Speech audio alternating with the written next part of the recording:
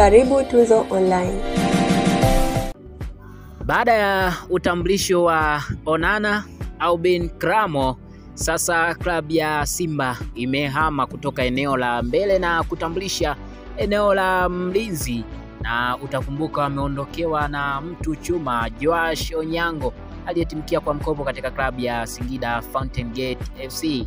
Sasa klabu ya Simba leo ama muda huu imemtambulisha Mwamba Kitasa e, wengine wanamwita ukuta wa Yeriko, si mwingine ni Che Fonde Malon Jeyara the MVP ambaye klabu ya Simba imemnasa na kumpa mkataba wa miaka miwili.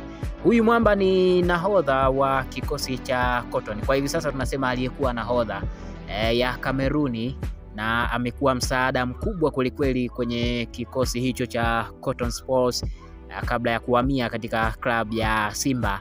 Ana umri wa miaka ishirini na nne, ni raia wa Kameruni, ni mlinzi wa kati, anatumia mguu wa kulia, anaweza kucheza pia kama beki wa kulia. Ana urefu wa futi 5.9 ni mtu kwelikweli na amezungumzwa sana. Wengi walikuwa wanaanza kujiuliza eh, Enoki Inonga Baka Varane ataenda kuweka pacha na nani?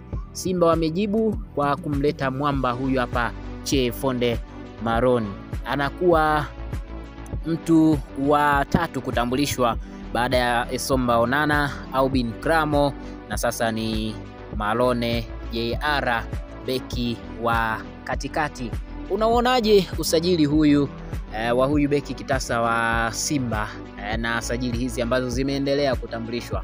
E, Ahmed Ali alisema baada ya jana kupumzika wanaleta mtu wa kutawanya bahari katikati, na akaposti picha ya Mo Dewji akiwa katika maeneo ya bahari akisema tajiri anakagua bahari kuona ipo tayari eh, kuhakikisha inapasuka katikati, iko salama, na sasa wamemtambulisha rasmi. Ni kweli mtu wa kupasua bahari ama kwako umeona utambulisho wa mchezaji wa kawaida tu? Tuandikie maoni yako hapo chini. Kama bado huja subscribe, hii ni Tuzo Online, endelea kuwa nasi.